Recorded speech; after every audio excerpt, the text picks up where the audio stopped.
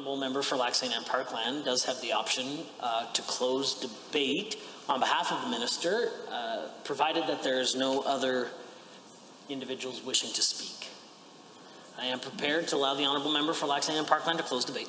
Yes, thank you, Mr. Speaker. And, uh, you know, it's different as a private member to be able to carry some of these on behalf of the minister. I think it speaks volumes to uh, the cooperation, and the collaboration that we have on, on this side, uh, Mr. Speaker. Again, I, I, understand through looking through some of the parliamentary procedures that this is probably the first time in 20 some odd years in this House that this has been afforded.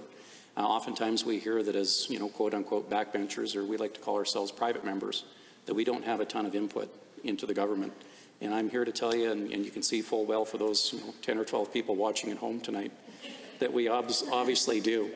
And the fact that when there was a situation that took place, um, you know, in my constituency that predicated this, and we saw this iceberg coming, that we immediately, you know, talked with the First Nations folks, with Chief Tony up on that end. We talked with the mayor of, of. Anne County.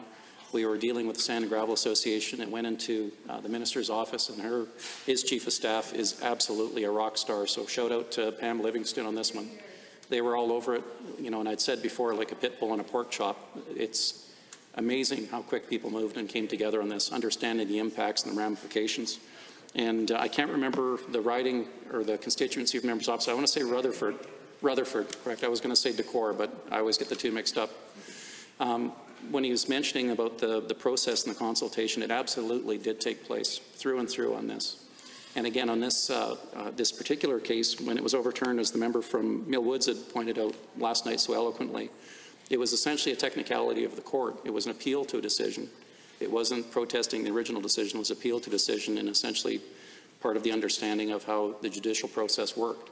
And this clarifies again both sand, or the, the gravel, marl, and clay. So again, we still have the, the ability to have the environmental impact assessment, although it's never been used for a number of years in pit operations, it still remains in effect in that, in that act.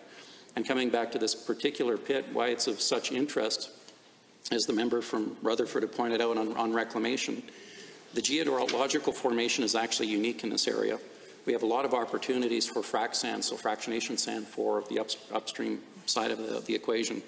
And it's kind of a little uh, known effect actually that essentially 70% of the frac sands that we bring in are actually imported from the United States. You have two geological formations being either the Wisconsin formation or down in Texas. And here's a part of our economy being diversified. So Wayfinder themselves, they have two, um, two plants up in place. The one up at Glenevis and the other one is actually sitting out in, uh, in Obed in uh, West Yellowhead. Now, the formation itself, when you look at the, the, the, area and the cooperation, the collaboration, on, and I'll say collaboration, it's not just consultation, but collaboration with the First Nations folks in that area as well, as well as the, the local community, the county, and the farmers. They took marginal farmland.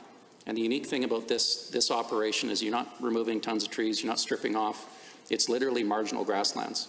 So when you only have to strip about four to six inches, maybe in the most part, use a pump to literally just suck out and vacuum the sand that's applicable for this defractionation process, have the wash station, wash station, I should say, right alongside the highway.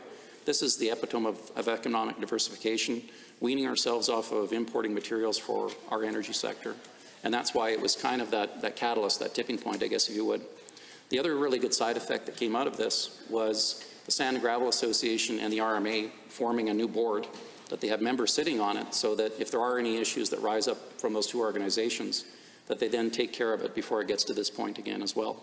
So with that, I really uh, appreciate everyone's input of this. I really appreciate everyone's support, and it's been an absolute honor to open and close um, on this bill. Thank you.